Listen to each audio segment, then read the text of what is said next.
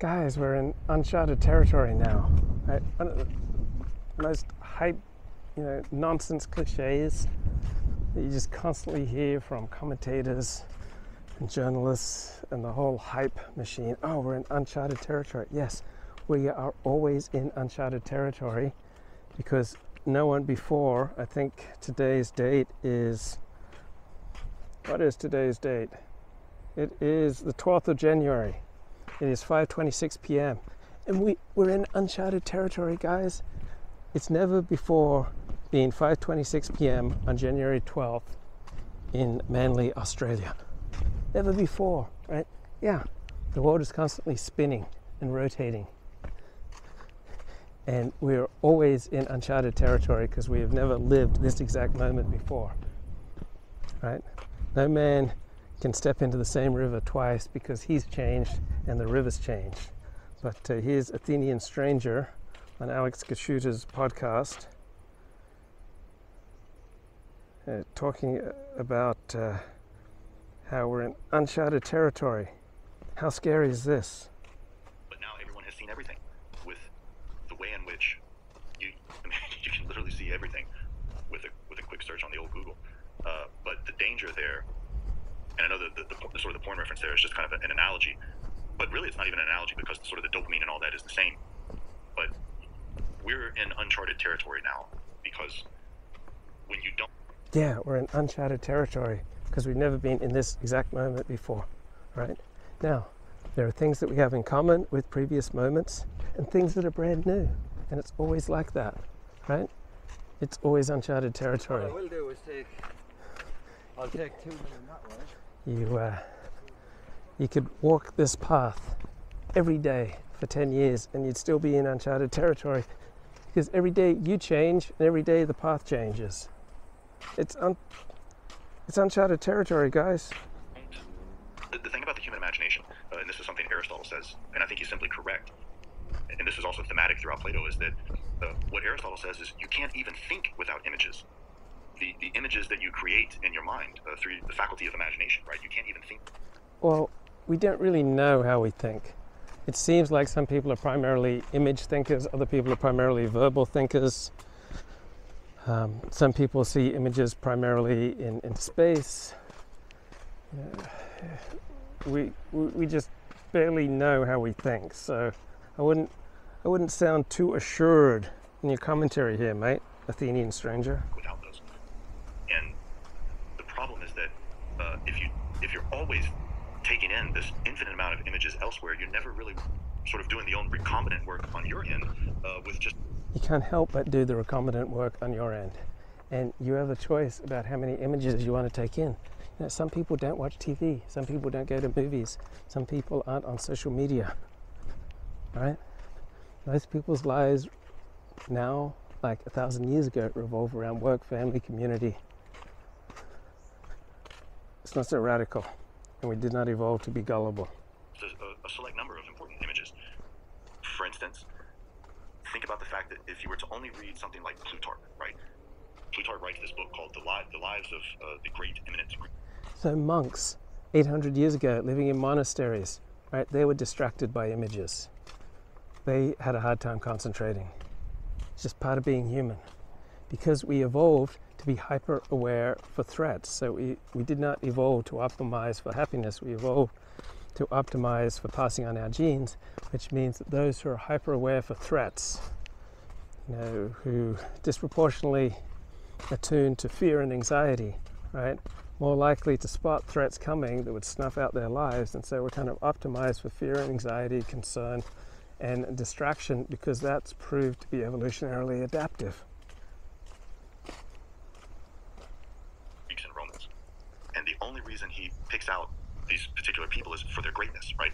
Um, Nietzsche picks up on this and says that if I just had a Oh, he also picked them out because those are the people he knew, those are the people he liked, those are the people he resonated with, those are the people who fit in with his hero system. hundred men who had only read Plutarch, I could take over the world. And it's because uh, Well, guess what? He couldn't. those men have been educated in greatness, right? What what what beauty could be at the highest level of human flourishing, human excellence. And unfortunately, what we have in this newfound world is very little of that, but an onslaught, uh, literally a veritable flood of mediocre to outright degenerate images uh, that people flood themselves with, right? Anyone who's ever As soon as like ancient man began painting on a cave wall, he was painting, you know, pornographic images. All right, So yeah, there are some ways where this moment is uncharted territory, different from all moments before it, and there are some ways where it's continuous. been in any group chat has experienced this. I've you know, certainly any woman who's ever been on a dating app has experienced these sorts of things, right? I mean, you're on the receiving end of images that you don't want to see, uh, and then it's sort of, it's like, oh my God, now I can't unsee it. Uh, and, and, you know, we laugh, we laugh because we realize that there's truth in it, right? And Yeah, well, you just walk down the street and you'll see images you don't want to see. You'll see, you know, fat, ugly, frail, deformed, crippled, damaged people. And uh, their pain and their incompetence and their deformity is so painful that uh, it hurts you to look at it. Right? You don't have to go on the internet to see these things. and that's exactly the problem is when you can't see unsee some images because they're so extreme of what you don't want in your mind uh, they pull down all the rest right they, they bring you back down right they, some people call it realism like well you know They don't have to, right?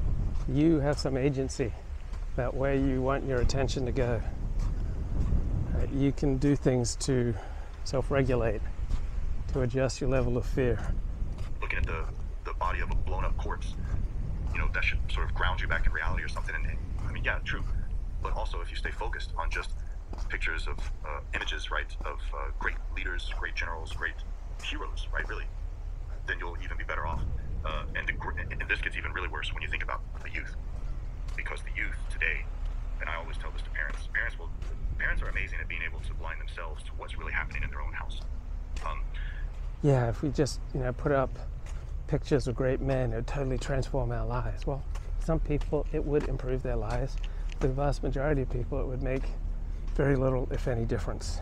parents will literally think that their kids have not seen porn or they wouldn't be looking at these kinds of the most outrageous porn. Uh, and I just ask them, I say, well, does your son or your daughter have an iPhone? And, you know, they'll say, yes, of course. Uh, and I say, well, it's already in your home. Uh, everything you never want them to see is already in your home. And the thing about the youth is that, and this is what makes them so great, right? Is, I mean, it's sort of a double-edged sword. Uh, they have that willingness, to, they're daring, right? They have that sort of, that, that they want to push the envelope, right? And that's a great thing about them. But it can be very dangerous when you combine it with a situation of something like pornography and then sort of like what you were saying is that uh, they've seen everything. They no longer create their own sort of images. They, And uh, guess what? The world is very dangerous. You know, 500 years ago or 1,000 years ago, there are more wild animals, there were more beasts, uh, there were dangerous snakes. Right? The world's always been a dangerous place. It's not just some brand new phenomenon due to the internet. they're just living out fantasies that they've already seen, probably over in abundance, other people performing, uh, and they will expect that in their own relationships, right? And so next thing you know, we've got generations of young people now who are already, that's already reality for them, and we don't know what's on the tail end of that, right? We're in America living under the kind of a gerontocracy, right, of old people. You know, we've got this 80-year-old president, you got 80-year-old senators, 90-year-old senators. Well, they're from a long time ago, right? We don't know what it's like to live under the rule of people like the youth today who have this newfound discovery of, of the most amazing uh, human degeneracy possible. So again, completely uncharted territory. Yeah, everything's uncharted territory. There are some ways that this will be discontinuous with the past, and there will be some ways it will be continuous, but it won't be this you know, radically different environment that you know only people as wise as Alex Kaschuta and Athenian Stranger can can detect what's happening. Yeah, we have some new problems today, and we have some new advantages today. There are ways that life today is worse than it was yesterday, five years ago, 50 years ago, 500 years ago. There are other ways where life today is better than it was yesterday, and 50 years ago, and 500 years ago. There are definitely problems. We have uh, you know, new emerging threats that we've not seen before, and other threats have diminished. But one thing is for sure, we have optimized evolutionarily to be constantly alert for threats. And life is inherently fragile. That we don't know what's on the other end of it. Uh, it's probably going to be like a present from like a, a grandparent or something where you just don't know what's in. We don't know what's on the other end of a million things. All right? To be human is to be vulnerable, to work with incomplete knowledge, and to be constantly walking into uncharted territory because we are constantly changing and the territory is constantly changing. Side of it, which you probably you know you're probably not gonna like it. It's probably not gonna really have anything to do with you, um, and I, I worry about that. And, and that's where you know I point to the fact that again, Yeah, you're not going to like it if you focus on what's bad about this new situation, right? You're not going to like it if you focus on what's terrible about the new environment. You're not going to like it when you focus on how it's inferior to how it used to be. You're not going to like it if you don't have friends and community and family. You're not going to like it if you're not able to self regulate, right? If you're able to calm yourself down, if you're able to meditate or pray or exercise or listen to classical music or whatever is your, your process of calming yourself down, then unexpected changes as we enter uncharted territory are going to throw you. But if you're able to self regulate, if you're able to be a good friend to yourself, if you're able to treat yourself with kindness and care and compassion, if you're able to you know, understand what, what drives and motivates you and troubles you, then uh, there's a really good chance that you're able to do the same for other people and that you'd be a good friend and that you can build up a support system and a community and you can play a valuable role in other people's lives and they can play a valuable role in your life. And when these awful things happen like uh, you know, gen x or gen z or gen y or whatever takes political power that you'll be able to deal with it. Come on mate it's probably not gonna really have anything to do with you, um, and I, I worry about that. And, and that's where you know I point to the fact that Yeah, he worries about that because he's wiser than you are. And he's just worrying, worrying about that because he sees all these threats that you don't see because he's morally superior. He's cognitively sharper. He has depth and wisdom because he studies the classics. So he's like Eric Weinstein.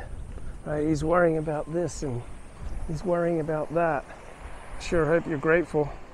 again, the best solution, certainly the time He's like God's suffering servant. He's suffering for our sins. What a mensch. proven solution to all these things uh, is to really go back to something like the classics, to really reteach people how to set aside time in their daily life, uh, no matter how busy, to take seriously the business of reading good books. Uh, because in a world filled of bad things, of evil people, monsters, really, uh, you're not going to find the heroes you want looking around you. But we've already seen everyone collapse. Unless you're surrounded by good people. Know how you can increase your odds of being surrounded by good people? You can be a good person yourself. How can you be a good person?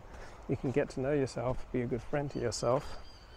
When you're in touch with yourself and what drives you and what frightens you, right? You're much more likely to be able to relate and connect with other people. And you're much more likely to have empathy as you let down your body arming, armoring know, when you let go your unnecessary bodily tension, right? Take some Alexander technique lessons. Know, let go of habitual reactions to stimuli that aren't serving you and replacing them with more adaptive reactions to stimuli. When you let go of your body armoring, become softer and gentler inside. Uh, you'll open up your heart and your social life uh, to connect with other people and your life will start working a whole lot better. And sure, great books, great. Uh, you can learn a lot from that. You can learn a lot from a lot of different areas, even podcasts and YouTube videos, and friends and family. Can you open yourself up to learning where your family's been right and you've been wrong?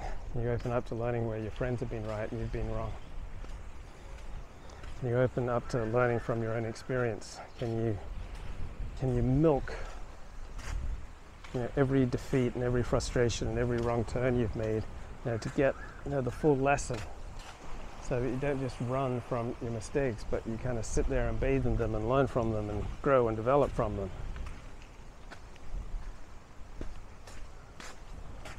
There are a lot of ways that you can become a more adaptive human